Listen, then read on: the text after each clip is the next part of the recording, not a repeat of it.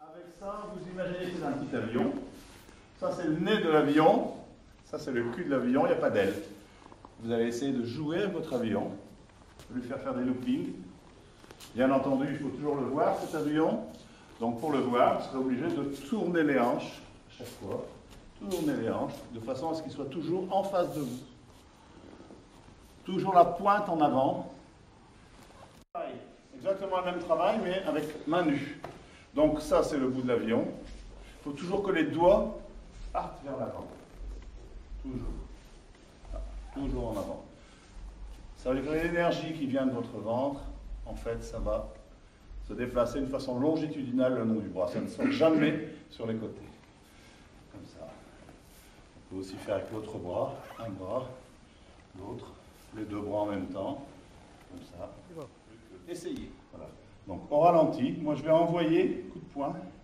Lui va le dévier et me renvoyer coup de poing. C'est-à-dire qu'ici, regardez, je vais utiliser sa force dans ce sens. Maintenant, c'est mon coude qui se lève et je frappe là-bas. Levez le coude. Mon bras fait ça, lever, ça, lever. Et en plus, on va déplacer le poids du corps. Donc, il voilà, moi ici, J'utilise sa force. C'est pas pousser là-bas, c'est utiliser sa force. Maintenant, ça devient circulaire et ça remonte. Là. Coup de poing vers lui. Deux. Un, deux.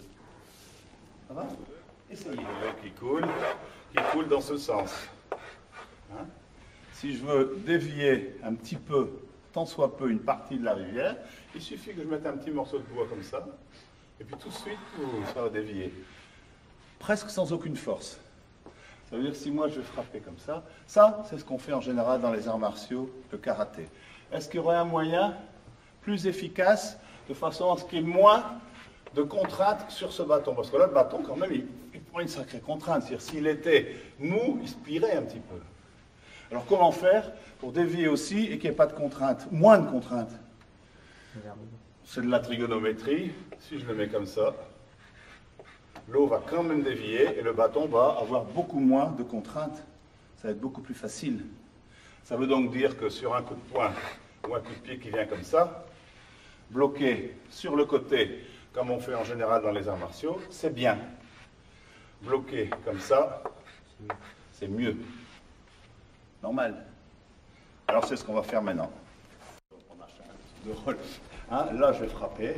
Au moment où il frappe, moi, ma force, ici, elle va vers là-bas, et non pas vers là-bas. Hein, je vais dans son sens, voilà. Monter. Il ne doit pas y avoir d'arrêt Nous, on fait des arrêts parce qu'on compte un, deux, on corrige tout le monde. Normalement, il devrait pratiquement, il y en a des arrêts, mais peu. Ça veut dire que ici, vais armer, ici, ici, ici, ici et ici. C'est circulaire. Mon bras s'est jamais arrêté. D'accord? Comme ça. Un, deux. C'est circulaire. Ça revient circulaire. Ça repart circulaire. On va travailler sur un bras, vous verrez mieux. Voilà. Sur le dos. Armé. Ça tourne. Ça revient. Ça repart. Ça revient ça Là, c'est circulaire au départ et après comme ça. Ça va? C'est pas nécessaire que vos athémies, vos coups, vos projections arrivent d'une façon circulaire. Si je fais ça, boum, je tape sur la tête à quelqu'un, là, c'est circulaire. Mais David et Goliath, vous connaissez, le petit David a battu Goliath avec une fronde. La fronde, c'est un mouvement tournant circulaire, puissant. Mais tant qu'on fait tourner, il n'y a aucune force qui se dégage on arrête net, pam, le caillou part, tangentiellement. Donc ça veut dire que même si je fais un atterri tout droit, y a au départ une amorce de cercle et après tout ça part c'est cette, force circulaire qui va donner la force. Ça va? Donc ici, on va travailler un petit peu le début de ce kata en essayant d'exagérer, de ne pas faire d'arrêt du tout. Sûr, après, quand vous le faites, il y a un petit peu d'arrêt, mais pas beaucoup. Alors là, ça devrait monter et tout de suite revenir. et qu'on a frappé, nous on arrête. Normalement, c'est frapper, frapper et revenir comme ça. souvent, on arrête que ça. Même si ça ne se voit pas beaucoup, même si le mouvement circulaire n'est que au niveau de la main, il y en a un quand même. D'accord? Pas forcément grand, ça peut être tout petit. À la glace, elle travaille un petit peu sa kata dans cette, cette idée. On ne va pas arrêter le mouvement circulaire, toujours à partir du bassin. C'est toujours le bassin, c'est obligé, puisque dès que j'ai fait un mouvement, il faut que j'essaie au maximum de travailler droit devant moi.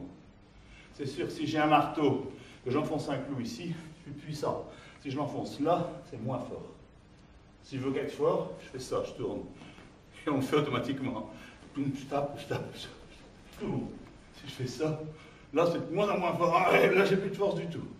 Ça veut dire qu'à chaque fois que vous allez faire quelque chose, que ce soit un atémie, que ce soit une clé, il faut si possible être devant votre centre de gravité. Ici, ça va. Il arrive qu'on fasse cette technique là-bas au bout. Ça arrive. C'est un peu moins puissant. ça s'appelle irimi en japonais. Irimi. Et déborder, ça veut dire entrer dans la garde du partenaire partir de l'autre côté. On appelle ça irimi. Ça veut dire qu'on est l'un en face de l'autre, on a autour de soi un cercle dans lequel on est protégé, tous les deux. Mais moi, il faut qu'à un moment donné, au moment où il va me saisir, je rentre dans son cercle. Dès le moment où je reste dans son cercle, je suis plus fort. Je vais utiliser sa force. Si je ressors de son cercle, si je me lève de trop, je perds la force. Donc ça, c'est un autre principe, c'est-à-dire que ici, je pouvais avancer Là, je l'ai débordé, c'est-à-dire que maintenant, je peux m'en aller. Il y a un autre principe, c'est il avance vers moi, je recule, je tape. Ça, c'est sport de combat. Parce que l'idée, c'est de gagner, de mettre l'autre KO. Si c'est seulement sauver sa peau, hop, ça, c'est Ilimi. Et ça se voit tout le temps. Euh, Coupe-moi circulaire là. Moteur qui fait ça, il fait Ilimi. Hein, des moments ici. Ça, c'est Ilimi. Ça, je débordais. Je rentrais plus près de lui. Ça va? Donc, hein, donc vous faites ce travail que je fasse doucement, tout doucement, et le faire dans l'autre sens. Là, comme les filles, on ralentit. Un. Et là, je...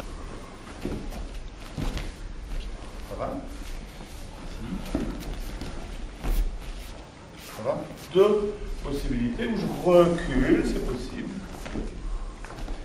Si je recule, il faut que je réavance bien la hanche. Je recule, je remonte et là ma hanche. Bien entendu, si on veut faire ça de façon simple, on va rester dans le même axe, c'est-à-dire ça, ça. Dans la réalité, on combine un mouvement circulaire vertical avec un mouvement circulaire horizontal en se déplaçant. C'est-à-dire ici, là, moi, je me déplace. J'accompagne, je prends ça. J'ai pas fait ça. Un, deux. Je fais ça. Même, même ça, ça tombe tout seul. Excuse-moi. Non, non, mais c'est pour ça qu'on va doucement. C'est vrai que quand on va vite, ça fait vite mal. Excuse-moi. Normalement, ici, je vais utiliser sa force pour le tirer et le faire remonter. Ici, je fais doucement.